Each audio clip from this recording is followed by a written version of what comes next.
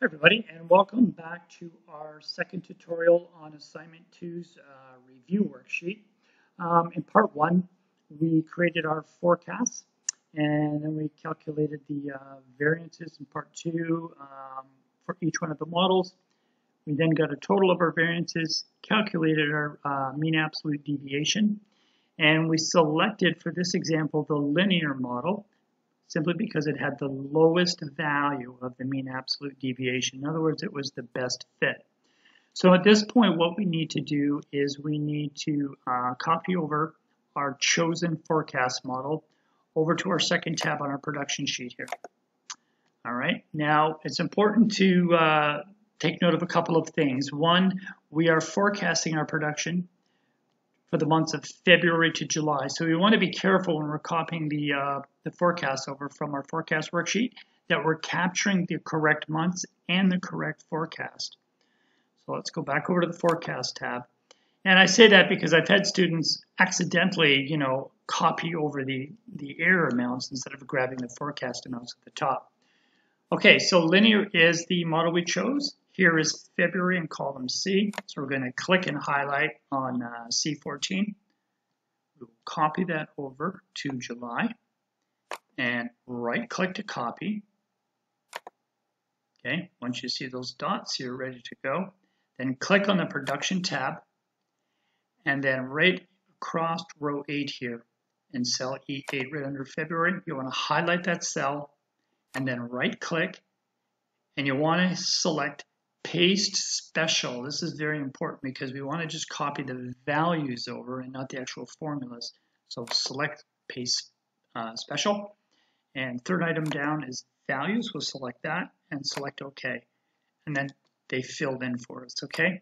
And if you click on any of these, you'll notice up at the top here, you're just seeing the number and you're not seeing any formulas, which is great because formulas will not typically copy over properly and you get a bunch of errors and hashtags.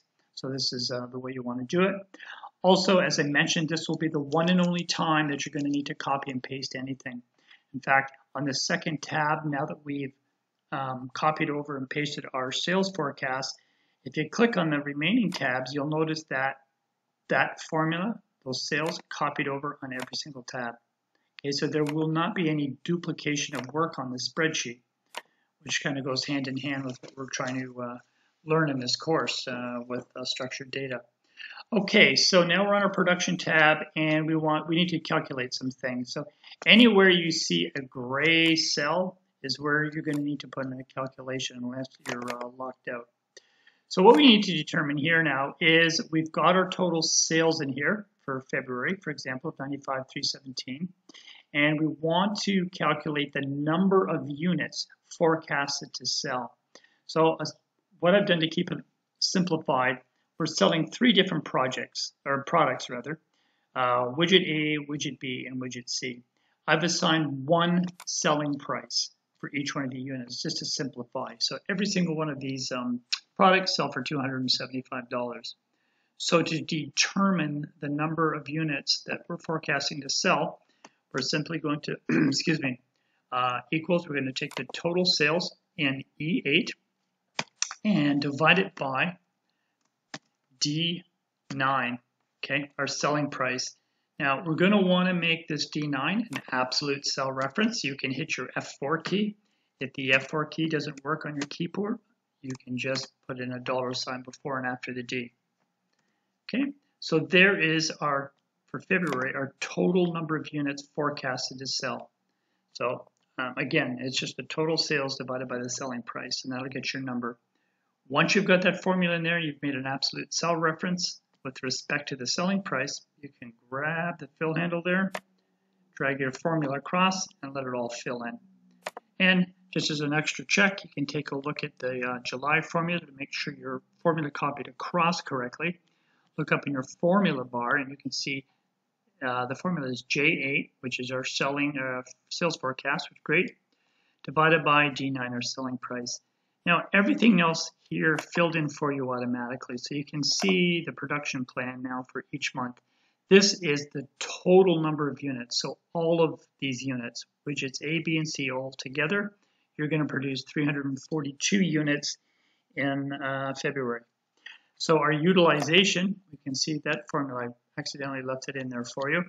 Um, so that's just your E11, which is your production plan, divided by E14, which is your actual capacity. So that's how much you're using. So the next thing we need to determine on this uh, worksheet is now that we know the total number of units that we're going to produce in February, we want to figure out how much now of each one of these products are we going to manufacture in that month, knowing that uh, our total variable is 347 units. So what we're going to do here is quite simple. We're just going to take the total number of units that we're going to produce in the month, and we'll just multiply it by the expected sales percentage of each product. So these three uh, items, of course, would add up to 100%. So to put the formula in there, we're simply going to take equals. Now, please, I caution you, not only on the uh, work uh, this assignment review, but be very careful when you're working on your assignment here. When you get into spreadsheets like this, you want to make sure that you're capturing the production. In other words, the planned units to produce, not the units to sell, because this is, you know, our, our production plan now. We're not forecasting sales here. So it's going to equal E11, which is our total planned production of 342 units, divided by D17, which is at 45%. Right, and again, we'll want to make an absolute cell reference. Okay, oops, what do we do here? Shouldn't be divide, it should be multiplied. My apologies, there we go, 154. So once again, we took the total production plan of the month of 342 and we simply multiplied that by widget A's um, expected sales. In other words, these are the, the, of the total units we're producing, we're expecting that we're going to need to produce this much of widget A based on our, our prior sales. Okay, so we'll just grab that now by the fill handle and drag it across like this. And let's just check um, July to make sure that our formula copied across properly. We've got J11, which is our production total production plan of 349 units times D17, 45%. Terrific. Okay, so now we can just do the uh, same thing for the remaining two items. We'll take our production plan, excuse me, in uh, row 11, multiply that by our percentage share, which is in D18, and I will make that an absolute cell reference again.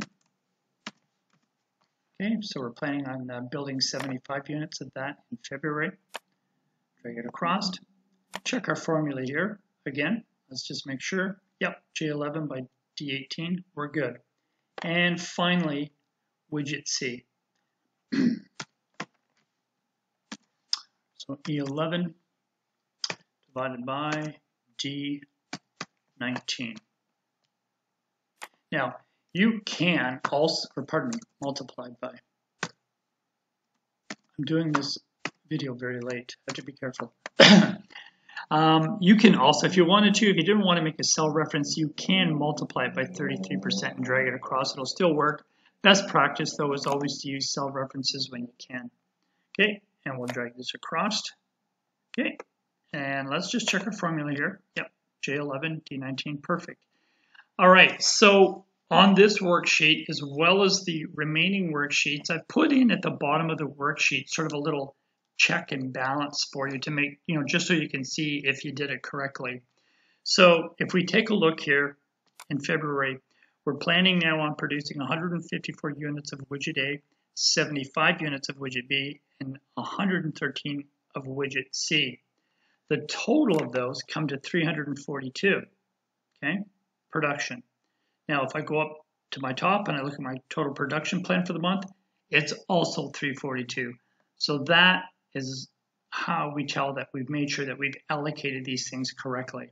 If you're working on this, on any one of these worksheets as you work through the production and planning process or on your assignment, at any time your number is different, then you know you made an error somewhere in your calculation. Okay, same thing, we look at March, we've got total units allocated 333, matches our production plan. April 345 to 345. May is 341 to 341. and so on and so on. Uh, July 349 to 349.